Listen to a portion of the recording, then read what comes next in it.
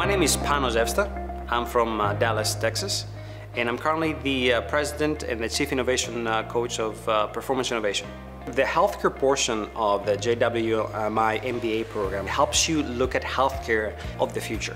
So how can you as a professional come into the healthcare industry and help it evolve? Saving money, saving lives was a great course because it allows you to look at financial aspects in the healthcare industry. Yes, you're gonna learn about what Virginia Mason uh, Clinic did in uh, early 2000s and what Cleveland Clinic has been doing during the first parts of the, of the 21st century. But where is really that we're going in the next 10, 20, 30 years? And the program allows you to look that far out. A great example of that is the Baptist management system of the Baptist Memorial Healthcare Company in Memphis, Tennessee. They apply those principles that we learned today at JWMI MBA program, which is really the healthcare of tomorrow.